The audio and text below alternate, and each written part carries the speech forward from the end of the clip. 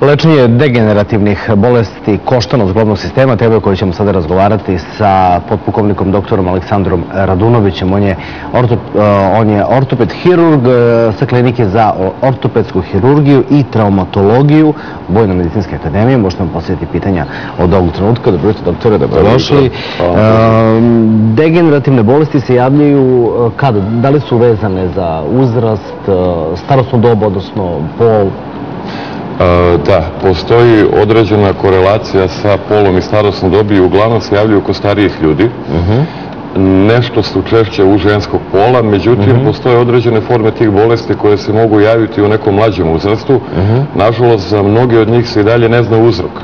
Tako da je za neke od njih i nepredvidivo i vreme javljanja kao i populacije koje, koje će se javiti. Ali šta se pretpostavlja? Mora da postoje neki zajednički faktori, neki zajednički uzročnici. Koja je vaša pretpostavka? Zašto do njih dolazi? Pa znate kako, lične pretpostavke nemamo ono u knjigama. Dobro, profesionalne, dobro. Profesionalne. znaju se neki faktori koji značajno doprinose povećanom stepenu javljanja te bolesti. To su, kao što sam već rekao, starija životna dob, ženski pol, zatim povećana telesna težina. Ima jako veliki utjecaj na javljanje degenerativnih promjena u nosećim zglobovima. To su zglobovi kuka, kolena i skočni zglob. neke urođene bolesti mogu dovesti također do ubrzanog propadanja hrskavice ovih zglobova, kao i neke stečene zapaljenske bolesti. Sva ta stanja u kojima se zna uzrok dobro. u kojeg nastaju se nazivaju sekundarna stanja. Međutim, postoji jedna velika grupa tih degenerativnih oboljenja gde se ne zna uzrok i to se zovu takozvane idiopatske ili primarne degenerativne bolesti. Dobro, jedno pitanje za vas telefonom, zamolit ću vas za odgovor. Dobro jutro, izvolite, sluša vas, doktor. Dobro jutro, jedno pitanje za vašeg gosta, ako može.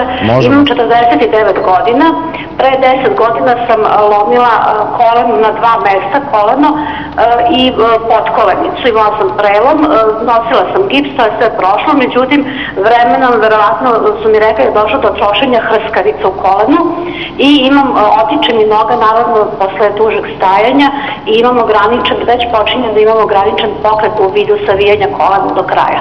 Pitanje glasi, neko mi je rekao od doktora kad sam išla na pregled da vidi tu jedno rešenje ugradnja veštačkog kolena, ali ja nešto smatram da sam još mlada za to, mislim 49 godina, da li je to neophodno baš ili postoji neka druga alternativa? Puno hvala na ovom pitanju. Koji je odgovor? Gospođa koja se javila je jedan tipičan primjer takozvanih sekundarnih degenerativnih promjena gdje se na osnovu izmene biomehanike nakon preloma javila trajno, javilo se trajno oštećenje hrskavice zgloba kolena. Njeno pitanje je vrlo zanimljivo jer zaista je vrlo mlada za ugradnju veštačkog zgloba. Pravilo za ugradnju veštačkog zgloba je da se pravi tajming za to određuje u dogovoru lekara i pacijenta i to na osnovu kliničkih znakova oštećenja hrskavice kao i tegoba objektivnih koje pacijent ima. I pored ogromnog napretka tehnike i materijala koji se koristi u ovim veštačkim zglobovima, još uvek veštački zglob nije podjednako kvalitetan kao zdrav prirodni zglob.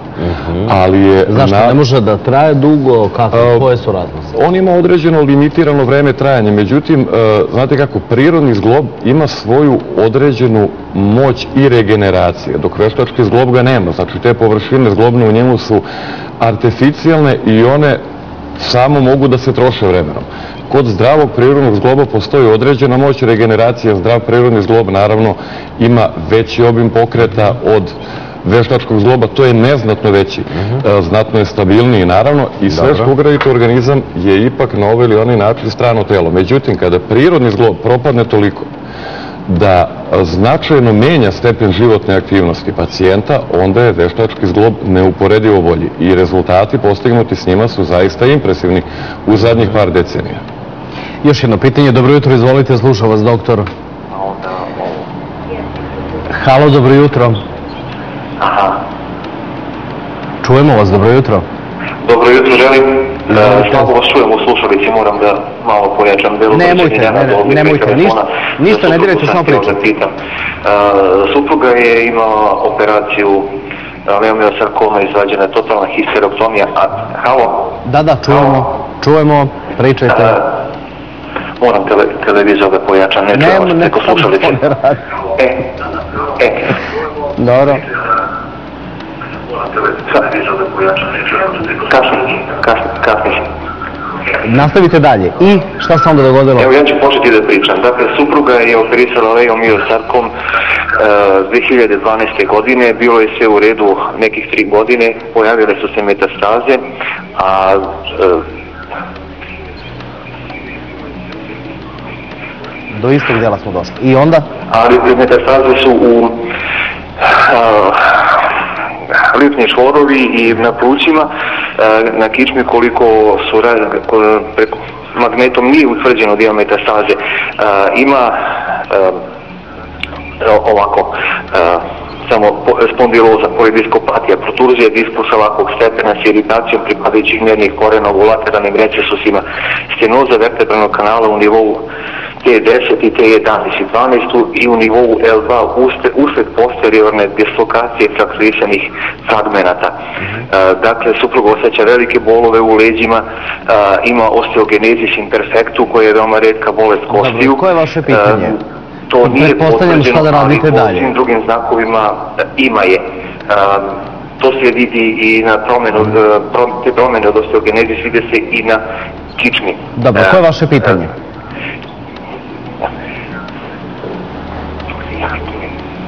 E, e sad, interesuje me, e, trebalo bi sad supruga da da prima bifosfonate, da ili ne? E, Da li bi, da li bi hvala, to vam, njoj- hvala vam puno što ste se e, javili. Da li vama jasno potpuno sada? Pokušat ću da odgovorim e, na pitanje. Pacijentkinja ima dva jako teška oboljenja. Jedno je urođeno oboljenje koje se zove osteogenezis imperfecta, to je u prevodu nesavršeno stvaranje kostiju.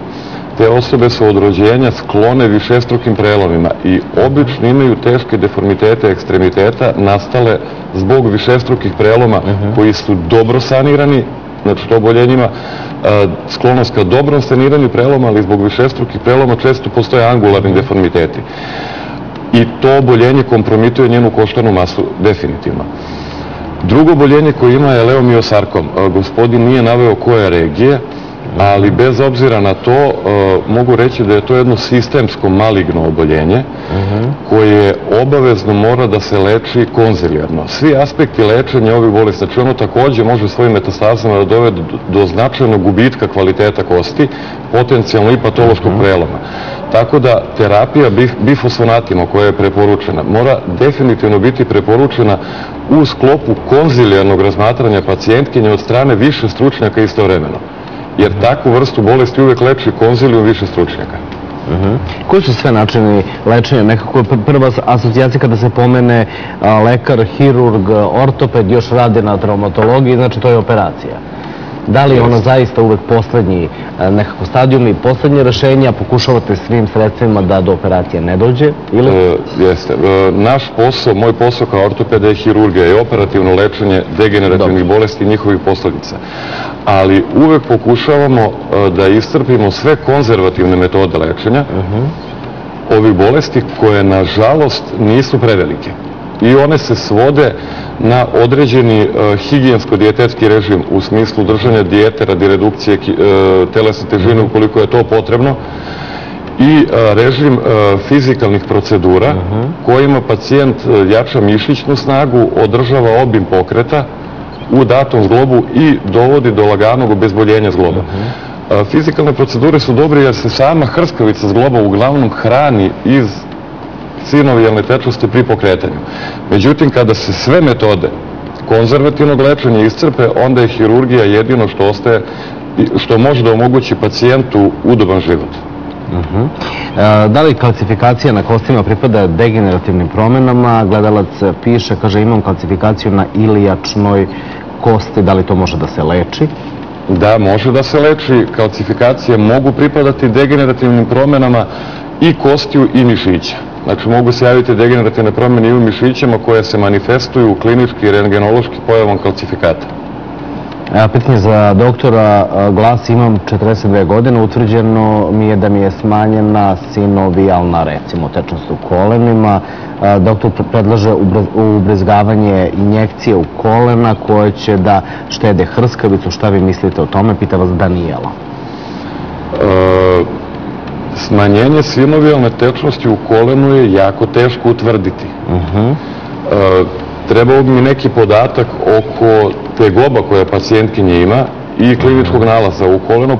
Mogu da se ubrizgavaju dve ili tri vrste injekcija koje su potpuno različitog mehanizma dejstva, naravno, i mhm. samim tim i efekte koji izazivaju. Međutim, za pravu informaciju oko koje vrste injekcija, kao i da li treba da se ubrizgavaju, bih morao da pogledam pacijentku i može doći bilo koji dan na ortopedski kabinet VMA uslovi dolaska kod nas su isti kao u bilo koju civilnu ustanovu. Uh Sljedeće pitanje je Slobodan piše imam 33 godine, problem sa leđima, lekari su mu rekli da je degenerativna promjena diskova između pršljenova, kažu da mi je kičma kao da imam 45 godina, pre dijagnoze nisam imao nekih povreda, teških povreda, da li imate neki savjet?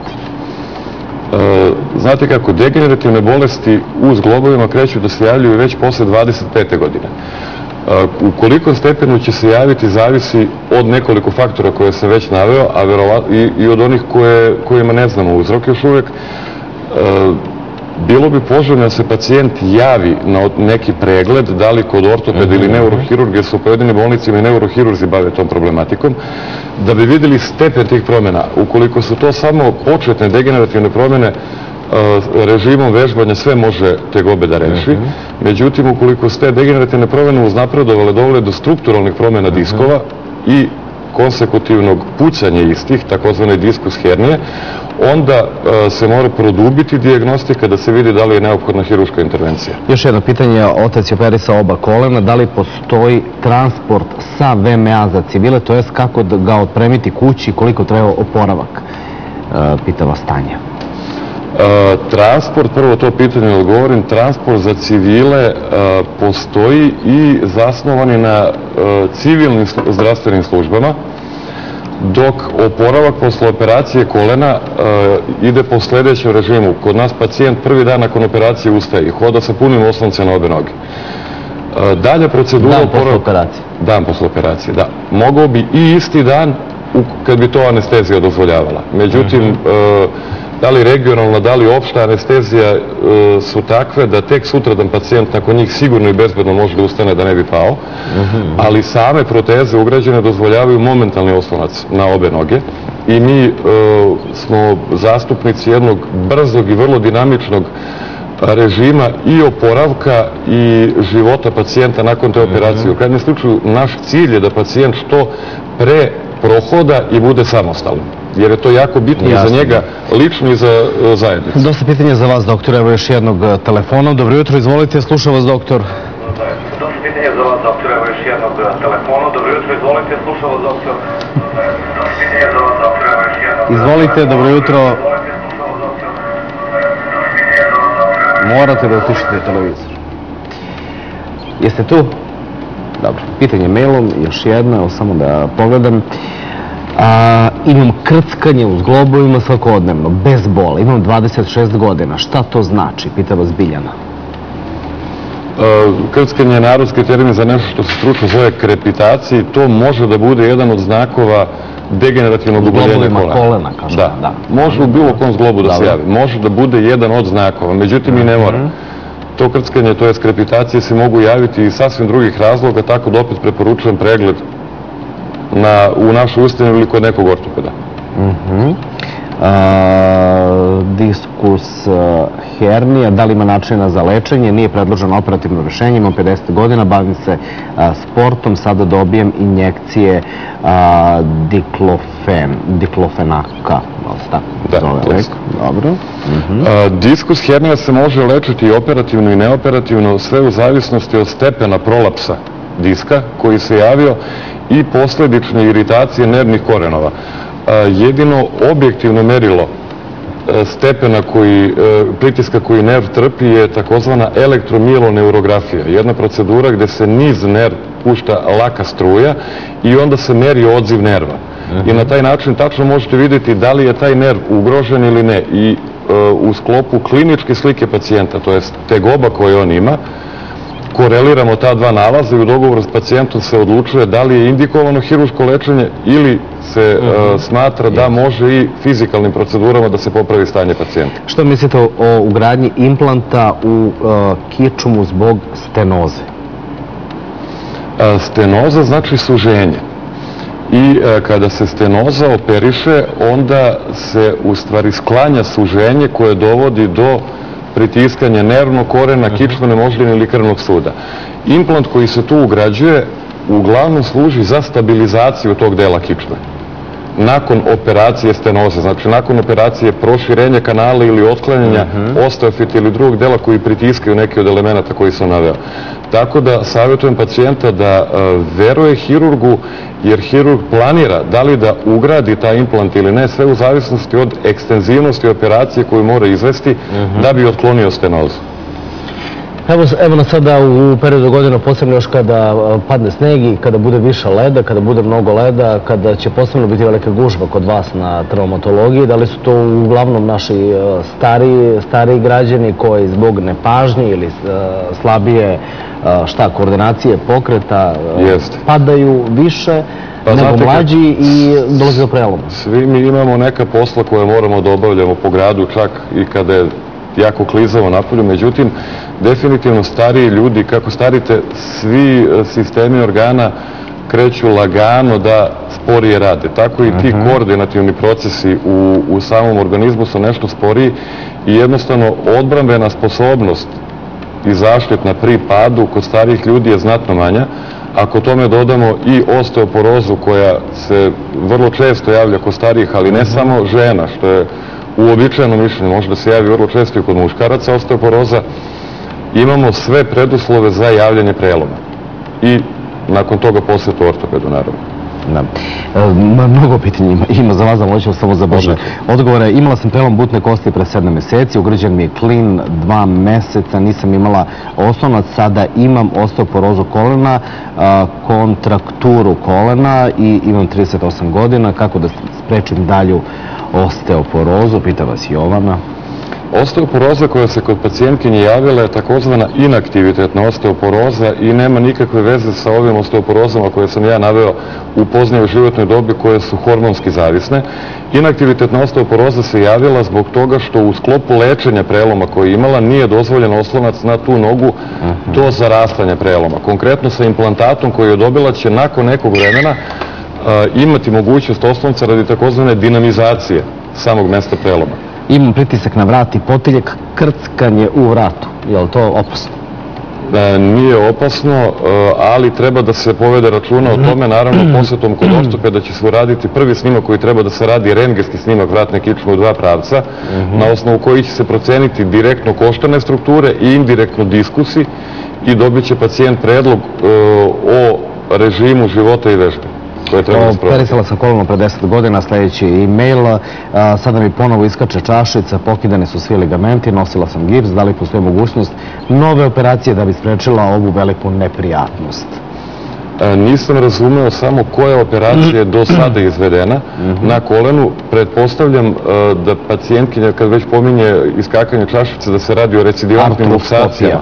Artroskopske rađena. E, postoje metode kojima može i nakon te prve operacije da se uradi ukoliko i dalje ima recidivne luksacije. Pretpostavljam da je prva operacija koja je rađena ili lateralni release ili rekonstrukcija MPFL-a, a postoje operacije i kasnije, da ne ulazimo u veliku struku koja i nakon neuspjelih prvih operacija može da smanji pacijentkinjine tegobe i da spreče dalje luksacije. Kako se leče oboljenja zgloba vilice? E, to je već pitanje za maksilofacijalne hirurgije. Oni se bave time. Mm, čekajte, čekajte, čekajte, samo mali problem sa tehnikom, evo. E, e, otok i suženje vratnih pršljenova C5 C7, uz to imam pre, nesnosne glavobolje više od 20 godina. Zanima je vaše mišljenje jer su ostali snimci i pregledi uredni mišljenje i savet. Da li mogu da dođem do vas? Na kliniku. Teja vas pita. Naravno, može dođe u bilo koje doba kod nas na kliniku, s tim što sa navedenom simptomatologijom koju je pomenula, savjetujem prethodni pregled neurologa, jer od cele baterije testova koju je ona navela, znači rekla da je dosta diagnostike rađeno, ne znam da li su rađene E, Doppler krvnih sudova vrata, što je jako bitno u tim situacijama kod e, dugotrajne glavobolje da se uradi, ali svakako posjetite neurologa i dođete i kod nas. Oba pregleda može da završi u VNA. Imam 39 godina i e, diskartozu, ili tako nekako. L4, L5, možete malo više da mi objasnite o toj bolesti, hvala u napred, Ivana. To je vrlo često oboljenje i ja sumnjam da postoji osoba preko 30 godina koja nema taj problem. sve što se završava na OZA, diskartroza kokleto u ovom slučaju predstavlja degenerativno oboljenje, u ovom slučaju intervertebralnog diska, jedne tvorevine mhm. diskovidnog oblika koja se umeće između kičmenih pršljenova i služi kao šok absorber prima deo težine na, na sebe da opterećenje ne bi išlo direktno na kost. Nakon određenog vremena smanjuje se kvalitet tog elastičnog tkiva u disku i to se onda karakteriše kao diskartroza, u nekoj kasnijoj fazi zbog e, smanjene elastičnosti tog tkiva može da dođe i do pucanja i to je ono o čemu smo već pričali, diskus hernija. Da. Zoran e, imao nezgodan prelom lakte 2011. Posle operacije bio je skoro dve godine na terapijama i ostalo mi je veliko ograničenje u pokretu. Da li može operacijom da se poveća pokretljivost? Pitam vas. E, znate kako, pre e, odgovora da li može operacija sa prećoj pokretljivosti, jako je bitan segment lakta u kome se desio prelom. Mhm. Lakat je zglob koji je možda i najzahtevniji e, zato što najbrže upada u kontrakturu od svih zglobova. Na osnovu rengenskog snimka bi trebalo proceniti, postoji procedura koja se zove i redresman. Mhm. Odvija se u jednoj kratkoj trenoj opštoj anesteziji, cijela procedura traje 10 minuta, a bazira se na nasilnom ispružanju i savijanju ruke u opštoj anesteziji, čime se postiže kidanje tih priraslica nekotkivnih koje se jave. Jer je najčešći uzrok ograničenja pokreta kod hirurgije lakta i uopšte preloma lakta javljanje priraslica. objašnjavali šta radite dok je pacijent u anesteziji. Mi pacijentu uvek objasnimo i pre toga šta mu radimo i šta može da očekuje. I tada odustanu. Ne, niko ne odustane, zato što ta procedura izuzetno mnogo pomaže. Dobro, koliko traje oporavak od artroskopije? Veselimo, spita i pozdravlja. E, artroskopija je procedura koja se izvodi kao one day surgery, znači pacijent dođe, bude operisan i istog dana odlazi kući, oslonac je momentalni nakon operacije, lagani otok kolena traje 7 do 10 dana zbog same tehničke izvedbe artoskopije, jer ona zahteva punjenje kolena vodom tokom operacije da bi se postigao efekt, efekt akvarijuma kojima se bolje vizualizuju strukture. Ovo je bilo kao na ispitu, da. Svaka čast, doktor. Hvala vam puno. Hvala vam puno što ste bili gost e, našeg programa.